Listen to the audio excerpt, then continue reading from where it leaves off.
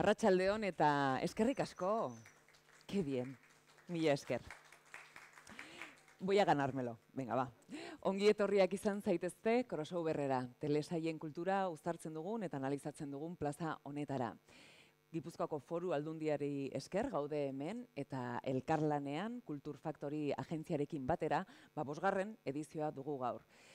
Eta gaur da gure azkeneko eguna hemen eh, Koldo Michelena kulturunean. Hoy es nuestro último día en el Koldo Michelena porque mañana volvemos otra vez a Tabacalera y tenemos una programación fantástica de tarde. Así que si os animáis de 6 a no sé cuánto, vamos a hablar de series, vamos a dar, bueno, vamos, cerveza, me han dicho que diga cerveza gratis que no está nada mal, eh, viendo cómo está el panorama, y más en Donosti. Así que si os apetece mmm, buenas conversaciones, buenos coloquios, gente interesante, mañana también. Pero hoy habéis venido aquí porque sabéis que aquí tenemos también algo muy, muy importante y especial, y es que vamos con un estreno de Palas, un drama familiar de intriga y suspense en la Alemania socialista de mano de Cosmo, a quien agradecemos muchísimo, por supuesto, esta oportunidad. Y de esta quinta edición también podemos decir que mm, de alguna manera hemos consolidado esta familia de profesionales, una familia de seriéfilos eh, que más quisieran tener en Tombuctú. Y digo Tombuctú porque la siguiente persona que va a subir aquí arriba le gusta muchísimo viajar.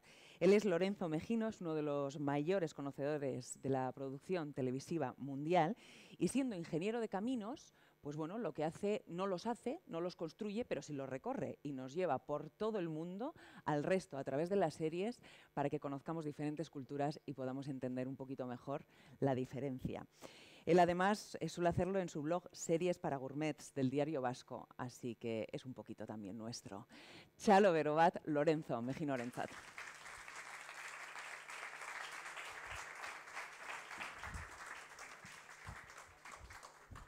Que ricasco, Rachaldeón, esto es lo que sé de vasco, a partir de ahora seguiremos en castellano.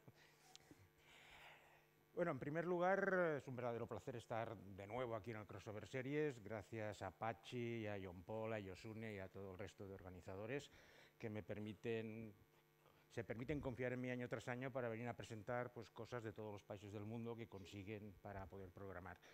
En primer lugar, lo que quería hablaros es un poco del cambio de la marca, de Cosmo, que es la que nos va a traer este estreno en exclusiva, que llegará el 16 de mayo, porque muchos de vosotros la conoceríais como Cosmopolitan, pero últimamente han hecho un rebranding y se llama Canal Cosmo, para un poco separarse de lo que sería la revista, aunque sigue siendo un canal que apuesta principalmente por ficciones protagonizadas por mujeres, y que últimamente, pues debido a los problemas para encontrar eh, o para poder comprar series americanas por todas las plataformas que están saliendo, pues ha tenido que cambiar un poco su estrategia y fijarse en series europeas.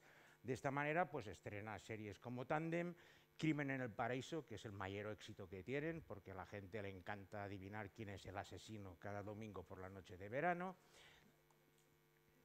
A mí también, o sea, no... y las nuevas series que va a preparar para el mes de mayo, un, una historia francesa, París Police, sobre, los, sobre el caso Dreyfus, aquellos de vosotros que sepáis historia, una cosa ambientada a principios del siglo XX en París, y posteriormente también estrenará otra nueva edición de una serie alemana, Tator, que aquí se conoce por el lugar del crimen, que lleva desde el año 70, lleva como 1.400 capítulos, cada domingo por la noche es una religión en Alemania a ver el, el capítulo de Tatort y los eh, alemanes y Cosmo en este caso, pues compra algunos paquetes de esta serie, en este caso ubicado en la ciudad de Dresde, para poder emitirlo. Hoy vamos a, a ver el primer episodio de The Palast, de Apalas, en alemán, The Palace en inglés, la traducción es bastante evidente, y es una serie de gemelas. Y antes de empezar a explicaros un poco la serie, os voy, a, os voy a explicar un poco los tipos de series de gemelas que hay, porque tenemos una, una, casuística de gemelas bastante importante y me parece interesante para poder enclavarla dentro, del, dentro de lo que vamos a ver posteriormente. Las series de gemelas tienes dos problemáticas diferentes. Una es cuánta gente interpreta a las gemelas. Tenemos casos como las gemelas Olsen, que son dos gemelas que interpretan a una niña pequeñita. Esto sucede mucho en Estados Unidos porque por leyes laborales los niños de menos de una cierta edad no pueden trabajar más de unas cuantas horas, entonces lo resuelven cogiendo gemelos para el mismo lugar. Luego tenemos el caso inverso, que es un actor que interpreta a los dos gemelos. Tenemos el caso de James Franco en The Deuce, y esta serie es otro de estos casos, la actriz Svenia Jung interpreta a las dos gemelas. Y por último, el caso, más el caso más normal, no más habitual, que es que las dos gemelas, dos gemelas interpreten a dos gemelas. Si, habéis visto las gemelas de Sweet Valley o una serie que se llama Cosas de Hermanas, pues, pues las dos son gemelas. Entonces pueden actuar y no tienen que hacer, como veréis aquí, pues trucos de cámara, de cambios de eje, dobles y demás cosas. Y dentro de la temática de las series de gemelas de estos tres tipos, tienes dos clases. La primera que es cuando se separan al nacer y no se vuelven a encontrar hasta dentro de muchos años. Aquí tienes yo a Boston y tú a California, con la Lindsay Lohan pues, haciendo el doble papel, cosas de hermanas que también se separan al nacer y se vuelven a juntar, y en este caso también es de las de separadas al nacer. Y el otro pues son las que crecen conjuntamente. Como ya podéis eh, deducir, De Palas es una serie de dos gemelas, pero que es una metáfora de lo que fue la separación de Berlín por el muro. Berlín Este y Berlín Oeste fueron dos ciudades gemelas y en este caso la serie empieza en 1961 con el nacimiento de las dos gemelas, que en la primera escena veréis que el padre se la lleva a Berlín Oeste a una de las niñas, dejando a la madre con otra gemela en Berlín Este, y en el momento que pasa empiezan a erigir el muro con lo cual es el punto de partida de este muro de Berlín marcado por el nacimiento de las dos gemelas separadas al nacer. Luego la acción pasa muchísimos años más adelante, 1989, y pues como suele pasar en estas series, por una serie de casualidades que voy rápidamente, se acaban encontrando. Y como toda serie de gemela, cuando se encuentran, ¿qué hacen? Se intercambian, una va al este, la otra va al oeste, empieza a haber toda serie de tramas, tienen secretos, también es importante ver que la gemela que vive en Alemania del Este es una vedette de un gran festival, de, una gran, eh, de un gran teatro de variedades, el Friedrichspalast, que es el más importante, era el más importante de Berlín Este. Y de esta forma tenemos que la que debería ser la comunista más seria, pues al final es una vedette de variedades. De aquí, bueno, aquí no, en el, anterior se veía, el, se veía a la persona en cuestión.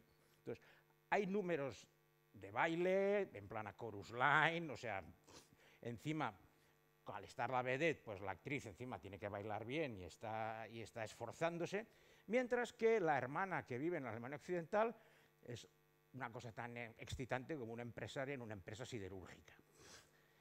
Una ejecutiva de una empresa siderúrgica, Sosa, sea, también han cambiado los roles porque lo habitual sería que la Sosa y Seria estuviera en Alemania del Este, que es la parte más gris. En cambio, el único teatro de variedades, que además existe realmente, el Friedrichspalast, es un teatro que existió durante la República Democrática Alemana y ha seguido porque era un poco el lugar de, esparcimiento y de alegría de los burócratas de Alemania del Este, porque era una revista, ya lo veréis, creo que hay un, número musical importante en el primer episodio como presentación precisamente de la otra parte de la gemela. Y bueno, en texto, líos de gemelas. Eh, la serie la he visto completa, está bastante bien. O sea, con esto ya os podéis imaginar lo que vais a ver. O sea, no. Por eso intento daros un contexto para que penséis. A ver, está mejor que las series de la que veréis alemanas del sábado por la tarde. Aunque tengo que deciros que su guionista, Rodidian Aldoher, tiene un currículum de series en Alemania, Suecia y demás cosas de estas de verano. Pero en cambio es importante destacar que su director es Uli Edel, que fue el director de Yo Cristina F., también una película sobre la banda de Bader Meinhof, y le da mucha fuerza a la dirección. Es una serie muy entretenida, yo me lo he pasado en grande, aparte he practicado el alemán, que siempre es una cosa que es útil.